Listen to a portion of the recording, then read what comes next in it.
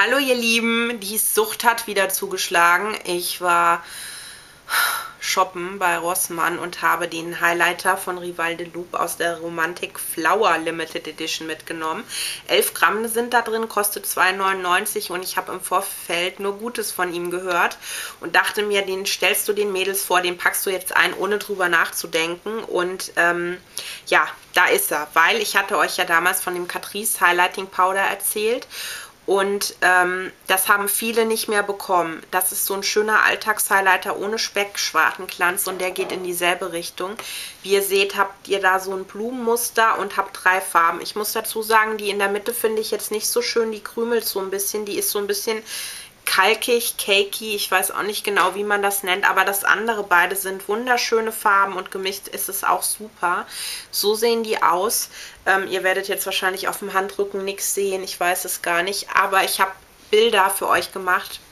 Einmal in die Infobox unten bitte klicken, da könnt ihr auf dem Blog gucken und äh, da seht ihr das nochmal an Makroaufnahme. Auf jeden Fall 2,99. Ich benutze es mit so einem festen Pinsel und mich dann sogar, weil, wie ihr seht, hier in der Blume könnte man wahrscheinlich noch einzeln entnehmen, aber hier die ist so ein bisschen klein, was ich aber auch gerne mache, wenn ich akzentuiert highlighte, was alle Lichtjahre einmal vorkommt, weil ihr kennt mich ja rechts, links und bam, ja, draufte mit und fertig. Ähm, dann würde ich das mit so einem feinen Pinsel machen.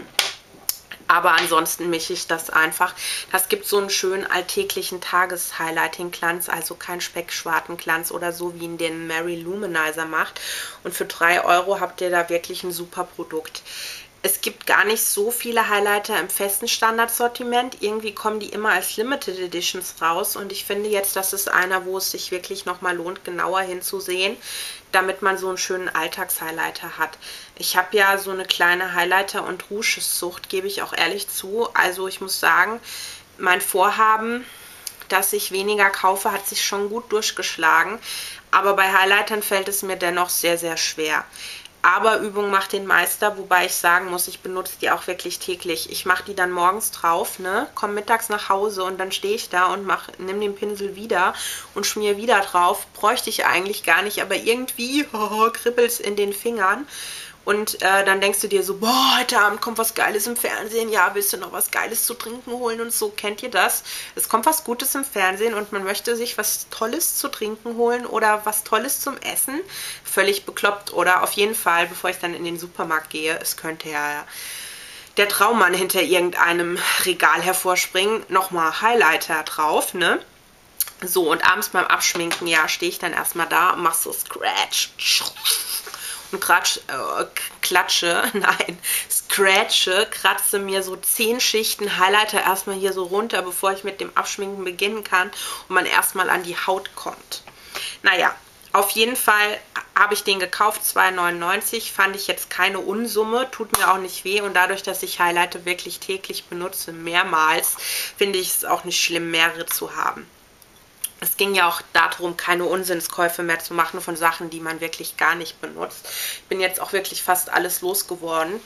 Ähm, irgendwann kommt mal ein Update, aber derzeit eher nicht.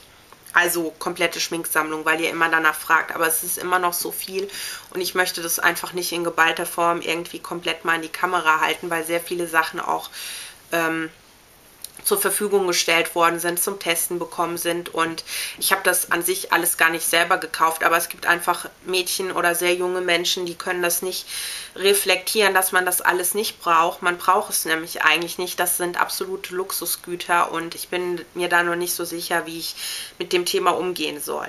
So. Auf jeden Fall, das ist der Highlighter. Ich finde ihn gut guckt euch nochmal die Bilder auf dem Blog an. Es gibt einige, die jetzt sagen, ja, er ist nicht so fein wie dieser hier. Das ist er auch nicht. Sie haben auch nicht an sich dieselbe Farbe, aber ich finde, sie eignen sich beide sehr, sehr gut als Tages-Make-up-Highlighter, Daily-Highlighter. Ähm, ja, mehr gibt es dazu eigentlich nicht zu sagen. Ich wollte euch eigentlich nur darauf aufmerksam machen.